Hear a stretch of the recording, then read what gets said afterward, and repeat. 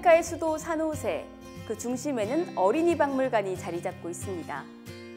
이곳은 대통령 선거가 치러지는 4년마다 투표소로 바뀌게 되는데요.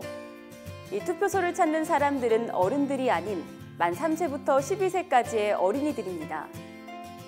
대통령 선거일 코스타리카의 어린이들은 이 투표소를 찾아 어른들처럼 선거에 출마한 후보자들 중 한 명에게 자신의 소중한 한 표를 행사합니다. 그리고 이 투표의 결과는 개표 방송을 통해 전국적으로 공개됩니다. 코스타리카의 청소년들은 이보다 3, 4개월 앞서 투표를 실시합니다. 별도의 투표소가 아닌 각 학교에서 투표를 진행하는데요.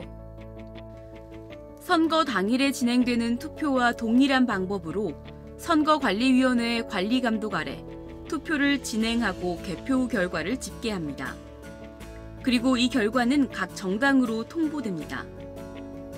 물론 어린이 청소년 투표 결과는 실제 선거 결과에는 영향을 미치지 않습니다. 하지만 투표소의 모습부터 투표 과정, 투표 용지와 투표 용구, 그리고 실제 후보자들에게 투표한다는 사실까지 기존의 선거와 동일하게 진행이 되는데요. 심지어 각 정당에서는 지방에 거주하는 아이들도 산호세의 투표소에서 투표를 할 수 있도록 버스까지 무료로 제공합니다. 만 18세 이상에게만 투표권을 부여하는 코스타리카. 그럼에도 많은 예산과 시간을 들여 어린이와 청소년들에게 투표를 실시하도록 하는 이유는 무엇일까요?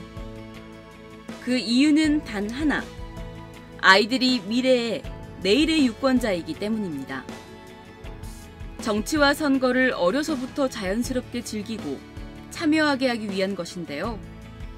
어린이와 청소년들에게는 선거와 민주주의에 대해 어린 시절부터 관심을 갖도록 하고 정치인들에게는 미래의 유권자들의 선택을 통해 경각심을 갖도록 하기 위한 의미가 담겨 있는 것이죠. 따라서 어린이와 청소년들의 투표 결과는 각 정당들의 중요한 관심사가 됩니다. 어린 시절 각인된 정당의 이미지는 성인이 되어서도 이어질 가능성이 높고 어린이와 청소년들의 표심은 그 집안 어른들의 표심을 반영하기 때문에 각 정당에서는 어린이 청소년 투표 결과를 숨죽여 지켜보게 됩니다. 코스타리카의 선거 모습은 그래서인지 우리와는 조금 다릅니다. 우선 투표소 안내와 정당별 선거 운동 지원, 투표 용지 교부 같은 일을 어른이 아닌 청소년들이 도맡아서 진행합니다. 직접 선거 과정에 참여하면서 민주주의를 자연스럽게 습득하게 되는 거죠. 선거일의 모습도 조금은 색다릅니다. 코스타리카의 가족들은 축구팀을 응원하듯 각자 좋아하거나 지지하는 정당 색깔의 옷을 입거나 머리띠를 하고 투표에 나서는 경우가 많은데요. 이런 경험 속에서 아이들은 민주주의를 배우게 됩니다. 세계에서 가장 행복한 나라 코스타리카. 코스타리카는 2015년 영국 신경제재단에서 실시한 지구행복지수 국가별 순위에서 151개국 중 1위를 차지했죠. 어린 시절부터 자리 잡은 자신의 나라는 자신이 만들어간다는 높은 시민의식이 행복한 나라 코스타리카를 만든 많은 이유 중 하나이지 않을까 생각해 봅니다.